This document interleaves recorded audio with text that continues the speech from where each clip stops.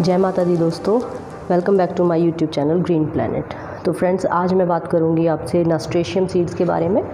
नस्ट्रेशियम, देखिए, नस्ट्रेशियम जो फूलों का एक बेल टाइप की चीज़ें, वो होती है, बेल टाइप होती है। बहुत बड़ी भी नहीं जाती है, बहुत वहीं एक छोटे से पॉट में लग जाती है। तो देखिए, ये लास्ट ईयर के मेरे सीड्स हैं जो मैंने कलेक्ट किए थे। काफ़ी सारे सीड्स बन जाते हैं, आप अगर एक बार आपको मिल जाए तो आपके गार्डन में से ये मतलब बहुत सारे बन जाएँगे क्योंकि बीज बहुत सारे बनते हैं इसमें। तो आइए देखते हैं इसको ग्रो कैसे करते हैं। तो इसका टाइम अब आ गया है ग्रो करने का। विंटर फ्लावरिंग प्लांट है। तो मैंने जो ये सॉइल ली है, इसमें मैंने ली है थोड़ी सी कोकोपीट और थोड़ी सी मिट्टी ली है इसमें और रेत लिया है। जो जमुना की रेत होती है, वो मैंने ली है। क्योंकि इसको बहुत सॉफ्ट हमें रखना है, जैसे कि मैंने और वीडियोस में भी आपको बताया, क्योंकि जब आप सीडलिंग करते हैं तो उसकी जो मिट्टी होगी सॉयल मिक्स जो होगा वो बहुत ही सॉफ्ट होना चाहिए, क्योंकि हार्ड होगा तो बीज को निकलने में प्रॉब्लम होती है। उसको बहुत सॉफ्ट होती है तो वो ईज़िली निकल जाता है। तो आप इसको, इसमें कोकोपीट 50 परसेंट ले लीजिए 40 परसेंट इसमें रिवर सैंड ले लीजिए और 10 परसेंट इसमें आप मिट्टी ले लीजिए। मिट्टी इसलिए है क्योंकि इन दोनों को बांधे रखेगी और कोकोपीट इसलिए है क्योंकि इसका जो मॉइस्चर है वो ख़त्म नहीं होने देगी।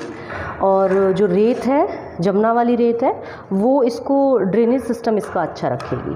क्योंकि ड्रेनेज सिस्टम भी अच्छा होना चाहिए, पानी ठहरना नहीं चाहिए, नहीं तो आपके सीड्स जितने भी उगाएँ वो सब ख़राब हो जाएँगे। उगेंगे नहीं, गल जाएँगे वो उसी में। तो देखिए मैंने ये इसमें फिल कर दिया है। इसमें फिल करने के बाद जो कोई मोटी मिट्टी वगैरह कुछ आ रही है आप उसे हटा दीजिए। तो ये देखिए तो अब हम इसमें डालते हैं सीड्स ये मैंने ले लिए हैं सीड्स अभी देखिए एक एक करके मैं सारे में डाल दूँगी। एक एक ही बीज डालिए, क्योंकि इसमें बहुत ज़्यादा बड़ी सीडलिंग ट्रे नहीं है ये, बहुत छोटी सी है। तो एक एक बीज आप डालिए इसके अंदर, एक ही काफ़ी होगा। क्योंकि अगर ज़्यादा डाल देंगे तो उसको रूट्स के लिए जगह नहीं बचेगी और आपका प्लांट जो है वो अच्छे से नहीं सीडलिंग करेगा। आपका जो बीज है ये ये देखिए, मैंने ये सारे में डाल दिए हैं। तो अब इसको क्या करना है कि हम पानी में डालेंगे, पानी डालेंगे इसके अंदर। इसको पहले हम कवर कर देंगे। ये देखिए, मेरे सारे सीट डल गए हैं। तो देखिए, मैं किसी किसी में दो भी डाल देती हूँ। आपको फिर दिखाऊँगी अगर हो जाएँगे तो। दो भी डाल दिए मैंने। किसी में डाल दिए किसी में नहीं डाले हैं, ठीक है? तो अब हम क्या करेंगे, इसके ऊपर से थोड़ा सा इसको कवर कर देंगे, क्योंकि सीड्स को कवर करना बहुत ज़रूरी होता है। अगर ये खुला रहेगा तो जर्मिनेशन इसमें नहीं होगी। ढका हुआ चाहिए इसको, क्योंकि जो बीज आपका रह जाए ऊपर, उसे अंदर कर दीजिए आप उंगली से। क्योंकि जब तक इसको हीट नहीं मिलेगी तो ये जर्मिनेशन इसमें नहीं होगी। तो इसकी वजह से इसको ढकना बहुत ज़रूरी होता है बीज को। आप सारे सीड्स ढक दीजिए। तो लीजिए, मैंने ये सीड्स सारे ढक दिए हैं, पूरा इसको कवर कर दिया है।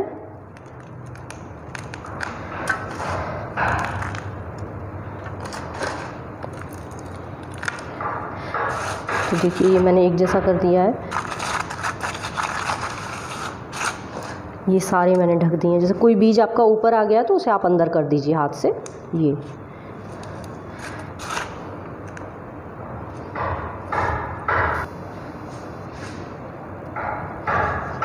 तो अब हमने ये कर दिया है और अब इसके हम हम इसके ऊपर डालते हैं पानी।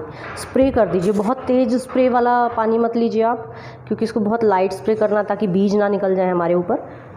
हमारे इसमें ऊपर आ जाएँगे बीज, नहीं तो। ये देखिए, मैं इसको पूरा गीला कर दूँगी, जो ट्रे के नीचे तक पानी आ जाएगा। नास्ट्रेशियम जो है, वो बहुत ही प्यारे फूल होते हैं। दो कलर है मेरे पास, एक येलो है, एक ऑरेंज है। तो फूल बहुत अच्छे होते हैं। छोटी सी बेल में ही इतने सारे फूल आ जाते हैं कि वो पूरा गार्डन आपका ऐसा लगता है येलो या ऑरेंज हो रहा है। एकदम हनुमान जी वाला केसरिया सा कलर होता है। बहुत ही खूबसूरत लगने वाला है। और बड़े बड़े फूल होते हैं और देखने में बहुत अच्छे होते हैं। और अच्छा इसका जो इसके लीव्स होती हैं, वो भी अपने आप में बहुत खूबसूरत होती हैं। लीव्स का क्या है, इसमें आपकी गोल लीव्स आती हैं। जितने भी पत्ते होंगे वो गोल होंगे। राउंड शेप में होते हैं तो वो अपने आप में बहुत, जैसे कमल का फूल होता है ना, उसमें बड़े पत्ते होते हैं, लेकिन इसमें बहुत छोटे छोटे से पत्ते होते हैं, लेकिन आते बहुत खूबसूरत से पत्ते हैं। जब तक फूल नहीं आते तब तक भी आपका पौधा ये बहुत ही खूबसूरत लगता है, देखने में बहुत अच्छा होता है। अच्छा ये एडेबल भी है, इसको आप सैलेड वगैरह में, इसके जो लीव्स होते हैं, वो आप सैलेड के साथ खा सकते हैं, जैसे सैलेड के ऊपर कट करके स्प्रिंकल कर लीजिए, वो एडेबल प्लांट है, इसके लीव्स आप खा सकते हैं, कोई दिक्कत नहीं होती। इसके फूलों से फ़ूड कलर बनाया जाता है। आप घर में भी फ़ूड कलर बना सकते हैं, बहुत ही डार्क कलर होता है orange yellow colour orange colour दो कलर मेरे पास हैं तो मुझे यही पता, दो कलर होते हैं इसमें। और एडेबल होता है, इसके कारण भी ये अच्छा है, आपके घर में पैट्स हैं डॉग वगैरह है कैट जो भी आप पाल रहे हैं तो उनके लिए भी कोई उसमें भी पैट्स नहीं लग तो फ्रेंड्स अगर मेरी ये वीडियो आपको अच्छी लगी हो तो इसे लाइक कीजिए शेयर कीजिए और मेरे चैनल को सब्सक्राइब कीजिए। तो इसी के साथ आपसे विदा लेते हुए फ्रेंड्स बाय